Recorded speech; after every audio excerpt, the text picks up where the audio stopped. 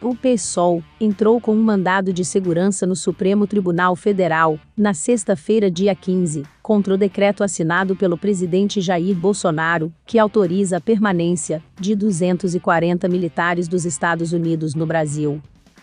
O governo federal autorizou na quinta-feira, 14, que militares norte-americanos entrem em território brasileiro para um exercício militar de adestramento entre os dias 28 de novembro e 18 de dezembro.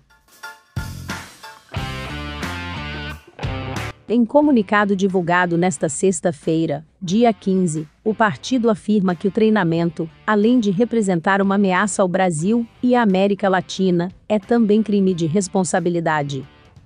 O Brasil sempre realiza esses exercícios de adestramento combinados com os americanos. O objetivo dos exercícios é incrementar a interoperabilidade entre os dois exércitos e nunca foi uma ameaça à soberania brasileira.